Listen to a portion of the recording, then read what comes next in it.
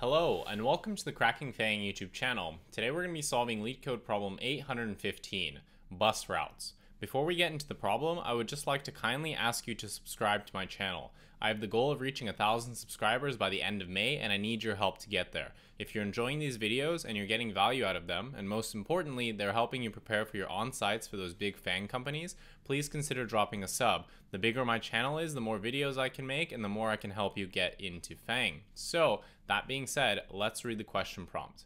You are given an array routes representing bus routes where routes of i is a bus route and the ith bus repeats forever. For example, if routes of 0 equals 157, that means that the 0th bus travels in the sequence 157, 157, 15, dot, dot, dot, dot, dot, forever. You will start at the bus stop source, and you are not on any bus initially, and you want to go to the bus stop target. You can travel between bus stops by buses only. Return the number of buses you must take to travel from source to target. Return minus 1 if it is not possible. So, for example, if we have the routes, so the zeroth bus, so we can think of this as bus zero. Oops, let me change the color here to make it more visible. And this should be green. Oh, fuck. Sorry, bear with me here. Change the color. Green. Okay, cool. Should be able to see that now. So this is bus zero. This is bus one. So essentially, Bus 0 can go to stops 1, 2, and 7, and bus 1 can go to 3, 6, and 7. So we start at 1 and we want to get to 6. So we hop on at 1 and we can see that the only bus that we can take there is bus 0, right? So we've started at 1 and we can go to, you know, stops 2 uh, and stop 7 from here. So neither of these are our target, so that means that we're to have to take either one of these and then see where we can go from there. So the bus one um, will get off at three, six, and seven. So none of the three and six are not any of these values, but seven is. So that means that from seven, we can ride it until we get to, you know, three, and then we can ride it until we get to six, which is our final answer. So we would need to take two buses, right? We got on here. This is the first bus we took, this bus zero. And then we got on um, we rode this to seven, and then from seven, we got bus one, which took us to six. So that's why we have two total buses that we took. So essentially what this problem boils down to, if you can't see it already, is basically going to be a breadth first search of the quickest way we can get from source to target, right? We want to, well, if we can even get there, because it is possible that we can't actually make that route. So essentially what we need to do is do some sort of breadth first search where we start at uh, you know our source stop and we try to get to our you know target stop and we want the shortest path between them. So if we build a graph and this graph will be undirected, uh, we know that doing a BFS over an undirected graph will give us the shortest path possible between source and target. So, and again, we're looking for the least number of buses, so that's why we're doing a BFS. We could try DFS to just try to find all of them, but obviously that would be a lot more computationally expensive. We want BFS because our search will actually end as soon as we find an answer, which will be our optimal answer. So the trick of this problem actually just boils down to how we actually build the graph uh, for this problem and do the BFS over it. So it's not exactly clear how we might do this. So let's take a step back and think about how we might build our graph. Okay, let's think about how we might build our graph here. Remember what we did when we went through the example was we started at one, because that was our source, and we basically looked at all the possible bus stops we could go from there. And then from there, we want to look which bus we could take and then which possible routes it had. Oops, there should be a 3 and a 6. So we're going to need some sort of graph structure which contains the information for stops and buses because we're going to need to keep track of which stops we've been to and which buses we've taken. Obviously, it's a BFS. There is the potential to get caught in an infinite cycle. So we do need to be careful that we don't take a bus multiple times if we've already been on it because we should have already reached the answer if that bus can take us there. So what we want to do here is we want to build our graph. And what we want to do with our graph is we're going to build a dictionary here to represent the graph. And what we're going to do is we're going to have, you know, as the key, it's going to be the stop. So, you know, one, two, or seven. And as the value, we're actually going to have a set representing all the buses which stop at that stop. So we'll have this set here, um, you know, and this will just contain all the buses. And this will be our graph. So for example, if we built it for this one, it would look like, okay, for stop one, what are all the buses that stop there? It's just going to be, you know, bus zero. And then for stop two, what are all the buses that stop there? It's again just going to be zero. Uh, for stop seven, what are all the bus stops, uh, buses that stop there? It's going to be bus zero and one. Um, and again, we're using a set here because if there's duplicates, we want to uh, avoid that. And what do we want to do? Uh, let's see. So we have three, and again, this is just going to be bus one, and then six, this is going to be bus one. So that's how our graph's gonna look like for this example. And remember that we need two separate sets. So we're gonna say visited um, stops is gonna be one set, and then we're gonna have visited, you know, buses. So the buses that we've taken so far is going to be another set. And then, you know, since this is a BFS, we're going to need some sort of queue. And what we're going to put into our queue is going to be simple. It's going to be the current stop that we're at and the route length that we've taken so far. So that way when we reach the target, if we reach it, then we can simply return this route length and we're done. So essentially what we want to do is we want to kick off our, you know, um, our, you know, BFS from basically the source. And, you know, we've taken zero buses at this point. And what we want to do is, you know, we want to process our queue. So our queue is going to take, you know, whatever stop we're at. So say we're at source uh, one. So that means that, you know, our queue is going to be equal to, I guess, stop one and a path length of zero. So we're going to pop this from the queue and we're going to be processing, you know, the stop one and, you know, we have a route length of zero. Obviously the stop does not equal to target because one doesn't equal to six. Um, right, so one, zero. So 1 doesn't equal to 6, that means that we need to process it. And essentially, what are the other buses that stop at this stop for 1? Well, it's going to be 0. And we haven't taken any buses yet so far. So we want to add our current bus to it. So we're going to add to, you know, the vis oops, visited buses.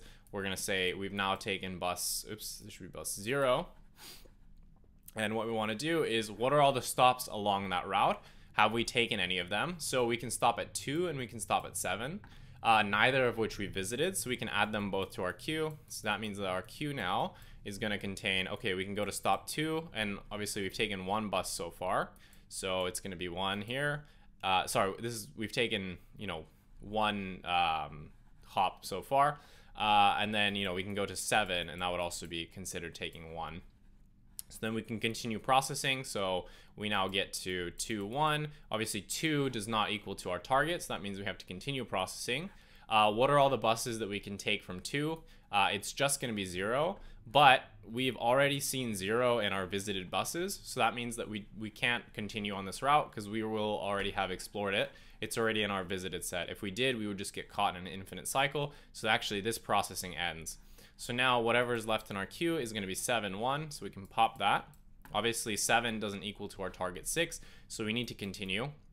So what are all the buses that are in 7? It's going to be 0 and 1, and obviously we've already visited 0, so we can't take that bus, but we can actually take bus 1, um, so we're going to continue on that. So that means that we're going to add this to our, you know, visited buses, because now we've taken bus 1, and what are all the stops that bus one um, can actually uh, go from here? So uh, we can look at for bus one, what are all the stops it can go to? It's just going to be its original route. So it's going to be three, six, and seven. So we can add to our queue all the stops as long as we haven't already been there. So uh, actually, we haven't been tracking this so far, my bad. Uh, so what are the stops that we've been to? So we've been to stop one, we've been to stop two, and now we've been to stop seven. So that means that we look into what are all the possible stops for bus one, because we know we have to take it. So uh, three, six, and obviously seven we can't go because that would just be an infinite cycle. So that means we add to our queue um, that we can go to bus three, uh, stop three, and then since we have taken a new bus, we can increment our count here. So now it's going to be two total, and then we can go to six and three. So now we're gonna process our queue further. So, you know, we have three, two being popped now. And then from three, you know, this doesn't equal to our target. And what is all the bus stops we can, or what are all the buses we can take at this stop? Uh, it's just going to be one, which we've already taken. So that means that we can't go any further there. So that's an invalid path. Now, all we have to do is process the 6-3. So we're going to pop it from our queue. We get 6-3. And we're going to check, okay, does 6 equal to 6? It does, actually. So that means that we found our, um, you know, correct route. And oops, sorry, this isn't 3. This is 2. Um, sorry, this is 2. So, so far we've taken a path length of 2, so now we can simply return R2, and that is the answer that we're looking for, as you can see from the example that LeetCode gives us. So essentially, that's the approach that we want to take. If this explanation was a little bit confusing, don't worry. Once we go to the code editor and we actually write it out line by line, it's going to be super clear, uh, and I'll break it down for you, and hopefully you should understand a lot better. Usually the diagrams are a little bit hand wavy, and it makes sense to me because obviously I've done the problem, I know what the solution is, so it's a little bit hard to kind of translate that into a diagram, especially when I'm drawing with the mouse. But let's go to the code editor, it's going to be a lot clearer. So I'll see you there. Okay, we're back in the code editor, let's write the code. The first thing that we need to do is actually double check that our source does not equal to the target. If it does equal, then that means that we don't actually need to take any buses. We're already where we need to be, and we can simply return zero because we don't need to take any buses. So if source equals to target, we can simply return zero. Now what we need to do is build the graph. And remember that the graph is going to be, for the key, is going to be a bus stop, and the value is going to be a set of all the possible buses that stop at that bus stop. So let's define that. So we're going to say graph is collections dot default dict set. And then what we need is also a queue because obviously we're doing a breadth first search and we use that and we use a queue to do that. So we're going to say queue equals collections dot deque. Oops. And remember that we're going to be starting at our source and currently we've taken zero buses. So let's now build the graph. So we're going to say for bus route in enumerate routes. And remember that the structure for routes is that routes of zero represents the zero, sorry, the routes of i represents the ith bus, and then all the values at that ith index are all the stops for that particular bus. So we're going to say for stop in route, we're going to say graph of stop, we're going to add the bus to it. So now we've built our graph. And before we actually do the BFS, remember that we can have cycles here uh, because obviously these buses just continue forever and we need to actually return an answer. We don't want to get caught in an infinite cycle here because we're never going to return and we're going to fail the interview. So let's make sure that we create visited sets for both the buses and the stops to make sure that we prevent ourselves from getting caught in a cycle. So we're going to say visited stops is going to be an empty set and we're going to say visited buses is going to be an empty set.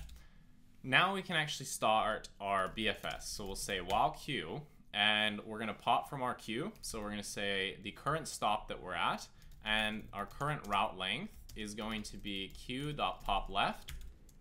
And what we want to do now is double check that our stop doesn't equal to our target. If it does, then we can actually just return our route length because that means that we've reached our destination. So we're going to say if stop um, equals to target, then we're done. We can just return the route length. Otherwise, what we want to do is we now need to traverse all the buses that stop at our stop and double check that we can actually take them. What does it mean that we're allowed to take them? Basically that we haven't taken it before. Remember, we don't want to get caught in that infinite cycle where we just keep taking a bus over and over. So we're going to say for bus in graph of stop, so basically all the buses that stop at this current stop, what we're going to do is we're going to say if the bus is not in visited buses, obviously we don't want to take it again, we're going to say visited buses dot add the bus. So we want to make sure that we don't get caught in that infinite cycle. So that's why we're adding it here to our set. Now what we need to do is for this bus that we're about to take from our current stop, we need to see all of the stops that it can go to and whether or not we've already been there. So we're gonna say for stop in routes, oops, routes of bus, so all the stops that this bus can take, we're going to say if stop not in visited stop. So basically, if we haven't already been to that stop, remember we don't want to get caught in an infinite cycle. We're going to say visited stops dot add stop. So we're going to add it to our visited set, and then we need to add it to our queue for further processing. So we're going to add that stop, and we're going to say that our route length is now going to be incremented by one because we're now taking a new bus. So all we need to do is, oops, run this queue, and either we're going to return our answer here, or our queue will break because there won't be any more processing to do, which means that we were not able to reach our target destination from the source, so we can simply return minus one as the problem tells us. So minus one if it's not possible. I'm just going to run the code quickly, make sure I haven't made any, but uh, what did I not close? Where is this? Line 30. Oops, okay, cool, glad we did that. Uh, let's just, okay, cool. So that seems to work. Let's submit this, double check that it works, and great. All right, cool. The first time I tried to record this, I don't know what happened, but I got a TLE. Um, so what is the time and space complexity for this algorithm? Well, for this problem, essentially, in the worst case, every single uh, bus will go to every single bus stop. So that means that when we build our graph, we're going to have, you know, uh, like basically an n by n structure in the graph because every single bus can go to every single bus stop. So it's going to be big O of n squared in the time because we would need for every bus potentially to go to every single stop in order to find our solution in the worst case. And similarly, because we could have that structure represented where every single bus goes to every single route, we could potentially have to represent that in our graph. So our space is actually also going to be big O of n squared. So that is your complexity analysis for this problem. Um, this one is a little bit weird. I think it's kind of tricky to realize how you're going to set up the BFS for this. It's not exactly straightforward, um, but hopefully this solution has um, basically made it easy for you. I think once you've seen this one, it's quite easy to remember how it's done. I don't think it's particularly that difficult. It is kind of one of those aha moment ones where, uh, okay, maybe you won't figure it out on an interview, but if you've seen it once and then you get it a second time, like you'll get it like that, no problem. So if you enjoyed this video, please leave a like, comment, subscribe to my channel. If there's any videos or topics you want me to make videos on, please let me know uh, in the comment section below and I will be happy to get back to you guys. I just need like a topic, um, you know, a LeetCode problem number or just, you know, anything you want to leave in the comment section below. System design, product design, anything like that, just let me know and I will be happy to make those videos for you guys. Anyway, thank you for watching. Have a nice day. Bye.